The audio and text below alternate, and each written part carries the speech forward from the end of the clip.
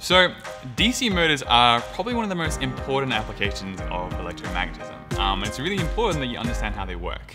So when we're trying to create a DC motor, we're essentially trying to create a coil that continuously rotates, okay?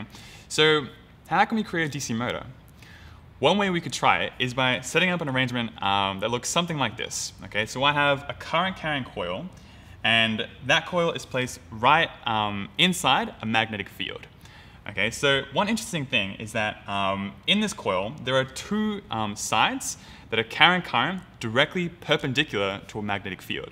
Okay, so because we have a current that is perpendicular to a magnetic field, those two sides are going to experience a magnetic force. Okay, so if you use the right-hand side rule, we see that side AB experiences a magnetic force downwards. Side CD experiences a magnetic force upwards. Okay, these two forces create a torque on the coil, which causes it to spin. Okay, so the coil will rotate, force is still causing it to spin, until we reach a vertical position.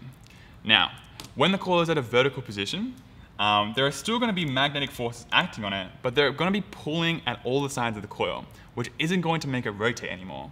Okay, so one simple change that we can make that enables the coil to continue rotating is changing the direction of the current. Okay, when the coil is at a vertical position, it's going to have some momentum. So it's going to try to keep on spinning in the direction that it's already spinning.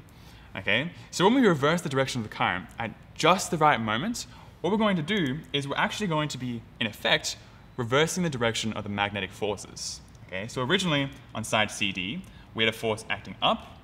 When we reverse the direction of the current, the force is now going to act down.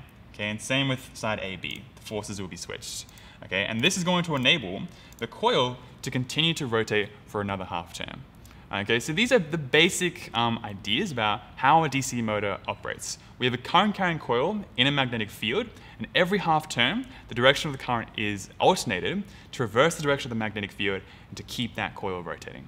And that's the basic idea of how a simple DC motor works.